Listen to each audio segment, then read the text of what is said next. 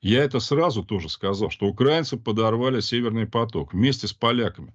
Но просто я же все-таки работал на госслужбе. Я представляю себе, как примерно эти все вещи могут... Сейчас немцы наконец-то это все обнародовали. Трех граждан Украины, которые подорвали газопровод, питавший Германию. И немцы после этого говорят, мы кого поддерживали все это время? Вы что? Ну, если бы они подорвали там газопровод где-нибудь в Рязанской области, плевать, нам... То есть, газ шел нам, они его подорвали, пытались свалить на русских. У нас из-за этого, значит, расходы на электроэнергию и квартплату. Мы, мы кого? Мы террористов, что ли, поддерживаем? Я читал ответ германского правительства на запрос парламентской фракции «Альтернатива» по этим делам. Там полный шок. Из серии кто такое мог представить? Но они признают, это сделала Украина с помощью Польши страны, союзника по НАТО, которая помогла подорвать газопровод, идущий в Германию. Офигеть, понимаете? Это вот, ну, опять, с точки зрения технической, вот как вы бы скажете, прекрасная операция. Тут взяли и подорвали. А с точки зрения политики. Сейчас Германия объявляет, военную помощь пока прекращаем. Потому что ну, ну, мы не можем своим избирателям вот это вот все грубо, грубо продать. Ну, дураками надо быть просто, понимаете? Просто дураками. Я-то сразу понимал, что это Польша, потому что взрывчатки везли много. Э, на границе задержали бы Евросоюз. А если взрывчатка проведе, ну, как бы из самого Евросоюза, а самая близкая страна к Рюгену, откуда яхта стартовала к потокам, это Польша.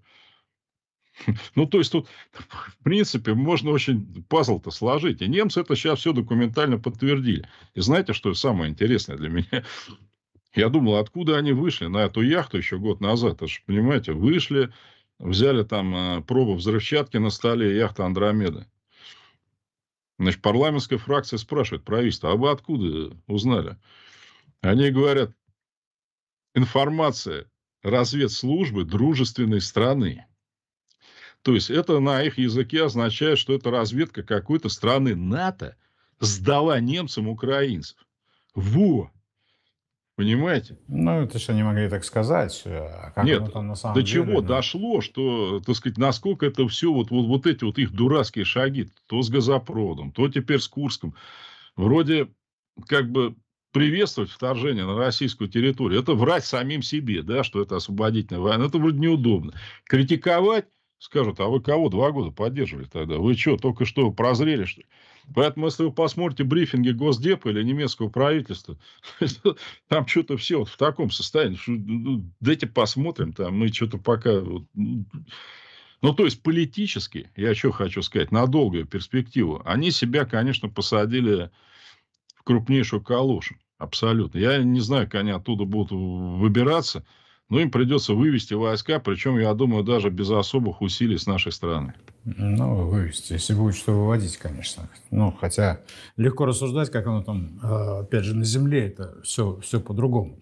Конечно. Да, но вместе с тем, американцы до сих пор считают, что вложение в этот конфликт – это их самая лучшая инвестиция, наверное, за последние, там, я не знаю, сколько времени.